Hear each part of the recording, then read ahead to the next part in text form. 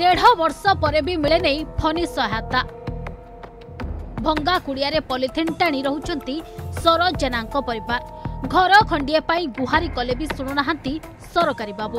ଆମେ କହୁଛୁ ଖୋର୍ଦ୍ଧା ଜିଲ୍ଲା ଟାଙ୍ଗି ବ୍ଲକ ଡିଆ ଗ୍ରାମ ପଞ୍ଚାୟତ କପିଳେଶ୍ୱର ଗାଁର ଗରିବ ଅସହାୟ ଶରତ ଜେନାଙ୍କ କଥା।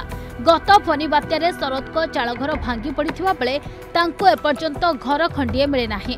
ବାତ୍ୟା ପରବର୍ତ୍ତୀ ସମୟରେ ଶରତ ନିଜ ପରିବାରକୁ ଧରି ପନ୍ଦର ଦିନ ସ୍କୁଲ ଘରେ ଆଶ୍ରୟ ନେଇଥିଲେ ମଧ୍ୟ ପରବର୍ତ୍ତୀ ସମୟରେ ତାଙ୍କୁ କୌଣସି ସହାୟତା ମିଳିନଥିଲା। ଫଳରେ ଶରତ ବାଧ୍ୟ ହୋଇ ଭଙ୍ଗା ଘରେ ପଲିଥିନ୍ ଟାଣି ରହୁଥିବା ଦେଖିବାକୁ ମିଳିଛି।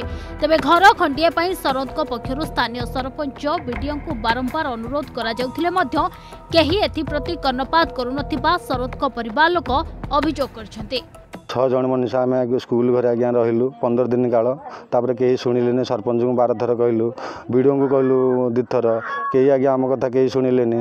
ଏପର୍ଯ୍ୟନ୍ତ ଇଲେକ୍ସନ ଟାଇମ୍ରେ ଆଜ୍ଞା ସମସ୍ତେ ପଳେଇ ଆସୁଛନ୍ତି ଆମକୁ ଭୋଟ୍ ଦିଅ ଆମେ ଇଏ କରିଦେବୁ ସିଏ କରିଦେବୁ ଆଜ୍ଞା କେହି ନାହିଁ। ଭୋଟ୍ ସରିଲା ପରେ ଯେଝା କରି ଆଜ୍ଞା ଯିଏ ରହୁଛନ୍ତି କେହି ଦେଖା ଦର୍ଶନ ଗୋଟେ ନାହାନ୍ତି। ତାଙ୍କ ପାଖକୁ ଆମେ ଗଲାବେଳକୁ ସେ କହନ୍ତି ଆଜି ହେବ କାଲି ହେବ ଏଇ ପର୍ଯ୍ୟନ୍ତ ଆଜ୍ଞା ଏପର୍ଯ୍ୟନ୍ତ କିଛି ହେଇପାରିଲା ନାହିଁ।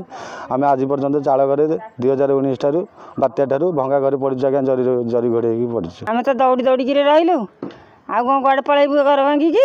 ସେଇ ଘରେ ପ- ପଡ଼ିଛୁ କୁଡ଼ିଆ ଖଣ୍ଡିଆ କୁଡ଼ିଆରେ। ବାତ୍ୟାରେ ଘର ଦ୍ୱାର ସବୁ ଉଡ଼େଇକିରି ଭାଙ୍ଗିଦେଲା। ଏମୁଡ଼ୁ ସେମୁଡ଼ୁ ସବୁ। ଦେଖିନାହାନ୍ତି ଏ ଗାଁରେ ଲୋକ କେହି। ନବୀନ କାହା ପାଇଁ କରୁଥିବେ? ଆମ ପାଇଁ କରୁନାହାନ୍ତି କିଛି। ଆମେ ଖଣ୍ଡିଆରେ ପଡ଼ି ପଡ଼ିକି ଆମ ଜୀବନ ଗଲାଣି। ଜରି ଟାଣିକିରି। ଆମେ ସ୍କୁଲ ଘରେ ଯାଇ ପନ୍ଦର ଓଳି କାଳ ପଢ଼ିଲୁ। ଆମକୁ ଖାଇବାକୁ ମିଳିଲାନି ପିଇବାକୁ ମିଳିଲାନି ଚୁଲି ନାହିଁ ହାଣ୍ଡି ନାହିଁ ଆମେ ଯେ କେଉଁ କେଉଁ ପ୍ରକାରେ ରହିଲୁ ତଥାପି ତାଙ୍କ ମନରେ ହେଲାନି ଜରି ଖଣ୍ଡେ ଦେବାକୁ ସୁଦ୍ଧା ଉଁ, ହେଲାନି ଆମେ କେମିତି ରହିବୁ? ତେବେ ଶରତଙ୍କ ପରିବାରକୁ ଦେଖିଲେ ରାଜ୍ୟ ସରକାର ଗରିବଙ୍କ ଘୋଷଣା କରୁଥିବା ମାଳମାଳ ଯୋଜନା ଗୁଡ଼ିକ କେବଳ ଘୋଷଣାରେ ରହିଯାଉଥିବା ଦେଖିବାକୁ ମିଳିଛି। ତେବେ କେବଳ ଶରତ ନୁହନ୍ତି ଡିଆ ଗ୍ରାମ ପଞ୍ଚାୟତର ଅନେକ ବାତ୍ୟା ପ୍ରଭାବିତ ବର୍ତ୍ତମାନ ପର୍ଯ୍ୟନ୍ତ ଫନି ସହାୟତାରୁ ବଞ୍ଚିତ ଥିବା ଅଭିଯୋଗ ହୋଇଛି ଖୁବ୍ ଶୀଘ୍ର ଶରତଙ୍କୁ ଆବାସ ଯୋଜନାରେ ଘରଖଣ୍ଡିଏ ଯୋଗାଇ ଦେବାକୁ ଗ୍ରାମବାସୀମାନେ ପ୍ରଶାସନକୁ ଅନୁରୋଧ କରିଛନ୍ତି। ହଁ ଶରତ ଜେନାଙ୍କୁ ଆମେ ଜାଣିଛୁ ଯେହେତୁ ସିଏ ହେଉଛି ଡିଆ ପଞ୍ଚାୟତର କପିଳେଶ୍ୱର ଛଅ ନମ୍ବର ୱାର୍ଡ଼ର ଜଣେ ସଦସ୍ୟ ତାଙ୍କର ତାଙ୍କର ଛଅ ପ୍ରାଣୀ କୁଟୁମ୍ବ। ସେତେବେଳେ ଫନି ଆସିଲା ଫନିରେ ବି ସିଏ ତାଙ୍କର ଘରଟିଏ ଭାଙ୍ଗିଗଲା। ଯାହାଫଳରେ କି ଏପର୍ଯ୍ୟନ୍ତର ଫନିର ସହାୟତା ମିଳିଲାନି। ବା ସେମାନଙ୍କୁ ପଲିଥିନ୍ ଖଣ୍ଡେ ମିଳିଲାନି। ସରକାର କାହିଁକି ଏତେ ନିର୍ଦ୍ଦୟ ଭାବରେ ରହିଛନ୍ତି ସେ ବି ଆସି ଇନକ୍ୱାରି କରିକି ସେ ଲୋକଙ୍କୁ ତୁରନ୍ତ ଦେଲେ ଏ ଅଞ୍ଚଳବାସୀ ଟି ଭାବୁଛି ପ୍ରତ୍ୟେକ ଗରିବ ଲୋକ ସେଠି ଯଦି ଦିଆଯାଆନ୍ତା ତାହେଲେ ପ୍ରତ୍ୟେକ ଗରିବ ଲୋକଙ୍କର ଗୋଟେ ବିଶ୍ୱାସ ରହନ୍ତା ସରକାରଙ୍କ ପ୍ରତି। ଏଠି ଇନ୍ଦିରା ଆବାସ ଦୁର୍ନୀତି ହେଉଛି ଏଠି ପ୍ରଧାନମନ୍ତ୍ରୀ ଆବାସରେ ଟଙ୍କା କାରବାର ହେଉଛି ସରକାର ଜାଣି ଆଖି ବୁଝୁଛନ୍ତି ଏବଂ ପରସେଣ୍ଟେଜ୍ ପିସିରେ ସବୁ କାମ ଚାଲେ ଏସବୁ ଯାତ୍ରା କେବେ ବନ୍ଦ ହେବ?